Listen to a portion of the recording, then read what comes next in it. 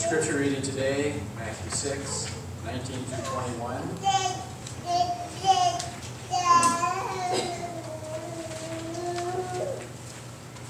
When I turn to that page, I see everything's in red, meaning that Jesus said this. I see at the top uh, the Sermon on the Mount. So that's just several chapters right in here. I also notice just above where I'm reading is the Lord's Prayer.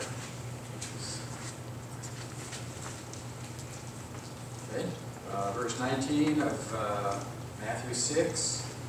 Lay not up for yourselves treasures upon earth, where moths and rust does corrupt, and where thieves break through and steal.